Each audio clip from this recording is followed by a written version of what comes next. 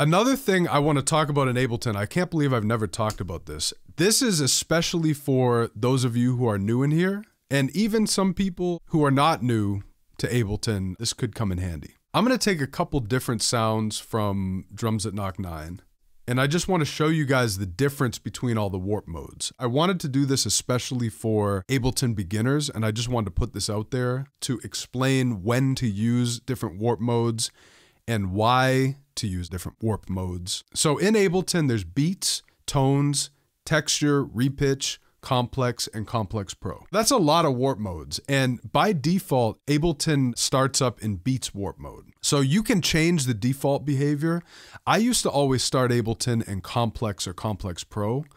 But then what I realized, and the reason why I started in beats is because complex and complex pro actually color the sound, even if you're not doing anything to it. That's something not a lot of people know about, but it's actually in the Ableton manual. So if you're running Complex or Complex Pro, even if you haven't warped anything at all, that's going to color the sound of your master. Hence why a lot of people say Ableton changes the sound, this and that. It's because of the warp modes. And by default, Complex, Complex Pro changes the sound. So I recommend beats tones, and texture. Repitch don't color the sound if you don't do anything, but Complex Complex Pro definitely colors the sound.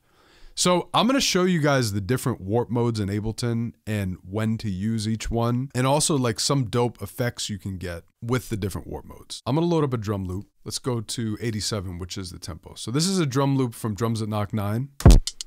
If you don't have Drums That Knock 9, what are you doing? Get it. I'm just playing. All right. So check it out. It is defaulted to beats mode. You can see down here, if warp is highlighted, you're warping. You can choose what to preserve, so you can do it by bar, half bar, quarter bar, etc., or transients. It's on transients by default. This is the one I like to use for drums, the one with the arrow going forward. So in Ableton, if I slow it down, notice the pitch isn't changing.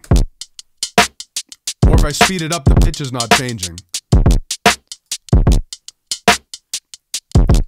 Okay, now listen to the other mode. You can see it doesn't sound as punchy. It sounds like there's stretching at the beginning and at the end of the transients. But if I go to this one, it's a little more punchy the beginning of the transients are hitting right on. The best way I could describe the other one is it's like kind of blending the transients, and I don't find that works well for drums. So that's the one I choose for drums. And there's this one, which also doesn't sound as good to me. So I prefer this one for drums. Right here, where it says 100, this is a little trick in Beats warp mode that sounds good on a lot of sources. At 100, I think of it like 100%. Watch what happens when I turn it down.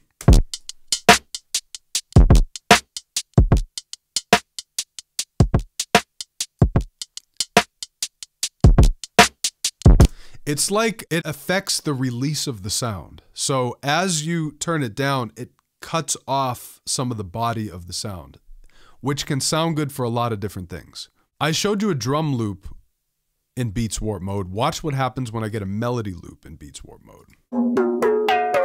Something a little smoother. Something like this.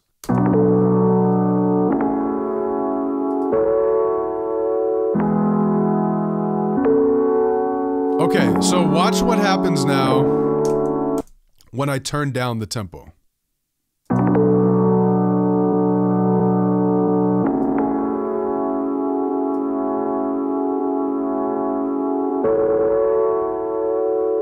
So you can hear it's kind of stuttering on some of the parts, which can be cool for certain stuff, but not usually the warp mode I use for melodies. So for this, I like to use either Complex or Complex Pro. Let's use Complex Pro and hear the difference between that and Beats. So how it was before.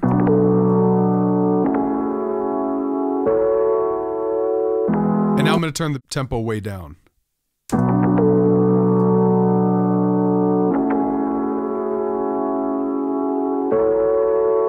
way smoother. Ableton does a great job with warp modes. I really like the sound of the warp modes. That's Complex Pro and then Complex.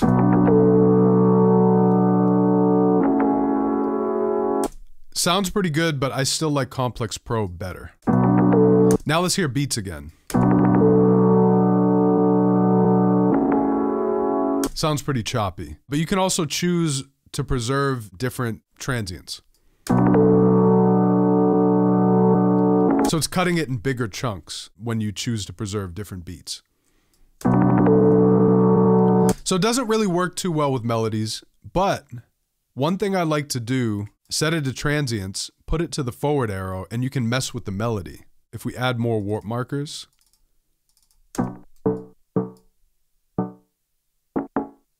if you add warp markers, basically you can get weird effects with it. You guys know about that? That's one trick with melodies that's pretty dope.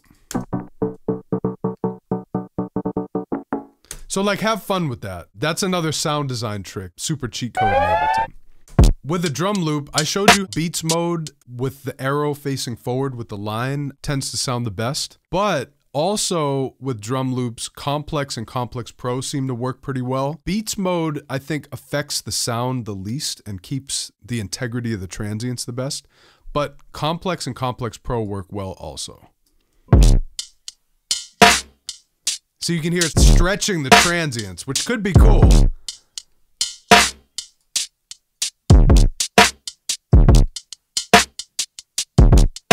It sounds a little phasey to me. You can mess with the formants and the envelope. Let's see what it sounds like.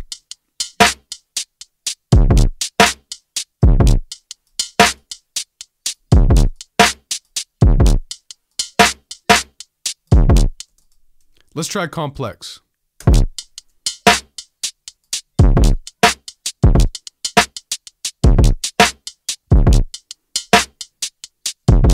Dope. So essentially, beats is for drum loops. It relies on short transients to manipulate and stretch the loop. Not good for melodic loops. The tones algorithm.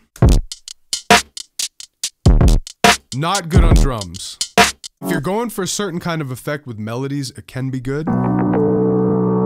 It has a warm sound to it, but it's really cutting it up quite a bit. It's a grain style algorithm.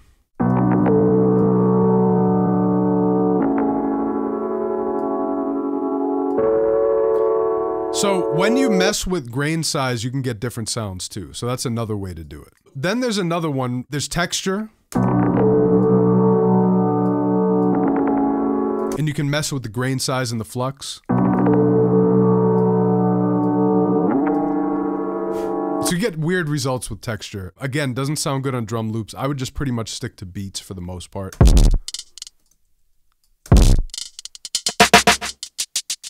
But you can get some trippy effects with it for sure. See, like you can do that and resample your drums.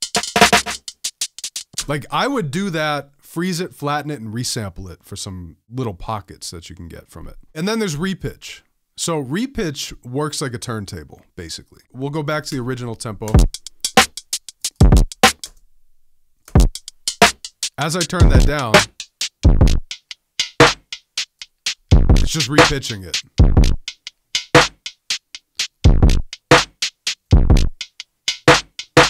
So the other algorithms don't repitch it. It'll change the tempo but not repitch it, preserve the pitch. But repitch changes the pitch, changes the tempo and everything. You know, it's a turntable effect. It wouldn't be good with melody if you need to keep it in key. It can be good for stuff like drums or even melody if you don't need to keep it in key.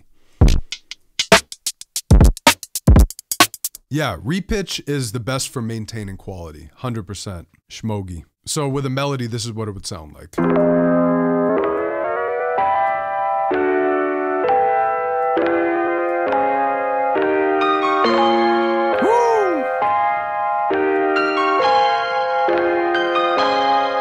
See, that melody sounds good repitched. Depends what you want to do. Essentially, that is all the warp modes. I like different ones for different things. I tend to use beats the most, especially with the drums.